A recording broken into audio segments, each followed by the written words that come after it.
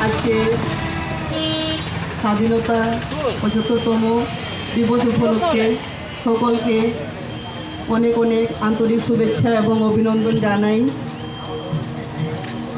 গেটে youth of Tripura সংস্থা থেকে যে একটা খুব সুন্দর উদ্যোগ নেওয়া হয়েছে, সেটাতে আমিও সামিল হতে পেরেছি, সামিল হয়ে খুব ভালো লাগছে, এত সুন্দর একটা উদ্যোগ নেওয়া হয়েছে, সেটাতে আমি সামিল হয়েছি। সবাইকে অনেক অনেক ধন্যবাদ আমাকে নিমন্ত্রণ করার জন্য, এবং এত সুন্দর একটা উদ্যোগ পথচারীদেরকে অন্নভোজন করার যে ব্যবস্থা নেওয়া হয়েছে। ধন্যবাদ জানাই আমাদের সভাপতি দাদাকে এবং অন্যান্য সদস্য সদস্যগণকে। আগামী দিন যেন এই সংস্থা আরও এগিয়ে যায় আরও সুন্দরভাবে কাজ করতে পারে, সেটাই আশা রাখব দাদাদের কাছ থেকে। ধন্যবাদ।